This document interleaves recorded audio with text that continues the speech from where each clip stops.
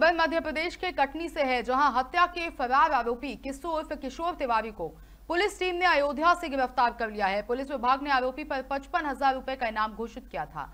जमानत मिलने के बाद आरोपी 8 दिसंबर 2021 से फरार था, जिसकी तलाश जबलपुर और कटनी की पुलिस कर रही थी। आरोपी के संबंध में जानकारी मिलने के बाद पुलिस टीम को अयोध्या भेजा गया था, जहाँ से पुलिस टीम ने मंगलवार को घेराबंदी कर आरोपी को पकड़ लिया। बुधवार को प्रेस वार्ता में पुलिस अधीक्षक अभिजीत रंजन ने कहा कि कोतवाली थाना क्षेत्र के हीरागंज निवासी किस्सू उर्फ़ किशोर तिवारी के खिलाफ 1 जनवरी उन्नीस में हत्या का मामला दर्ज किया गया था। आरोपी पर राजेंद्र उर्फ़ डेयू सिंधी की हत्या का आरोप था।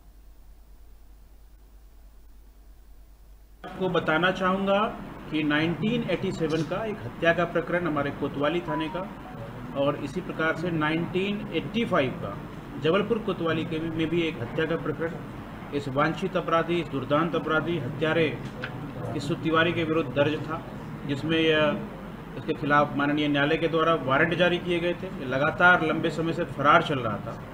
तो अभी इन दोनों अस्थाई वारंटों के उद्देश्य प्राप्ति हेतु इसको पकड़ा गया है। देखिए, अभी तक जो प्राप्त जानकारी है, उसके मुताबिक कटनी ज़िले में अलग अलग समय अंतराल में करीब 20 प्रकरण इसके खिलाफ दर्ज हैं। और जबलपुर कोतवाली में एक और इंदौर के तुकोगंज में एक। ये दोनों ही हत्या के प्रकरण हैं।